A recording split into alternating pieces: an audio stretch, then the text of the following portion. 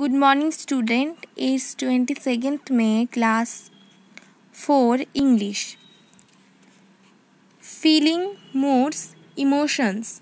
The people in the story show different feelings or emotion. For example, Robin showed happiness. Uh, happiness is a feeling. Robin showed happiness. The little boy showed excitement. Is also as feelings. Number A. Each of these faces shows a different emotion. Write the words from the box in the correct speech bubbles to describe the faces. We see a lady sad face. So I am sad.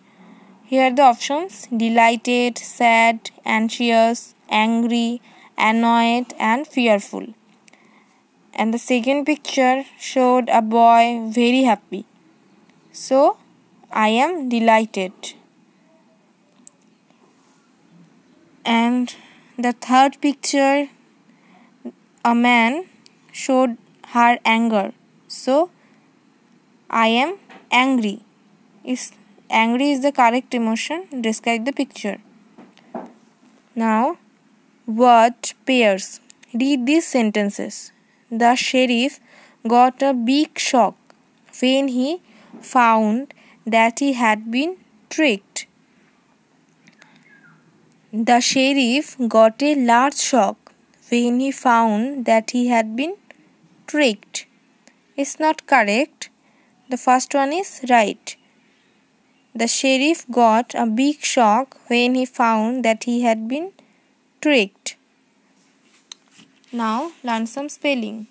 Strong S T R O N G strong S T R O N G strong heavy H E A V Y heavy usually U S U A double L Y usually fast F A S T fast. Four words strong heavy usually and first. Spell and then memorize it. And write down on your notebook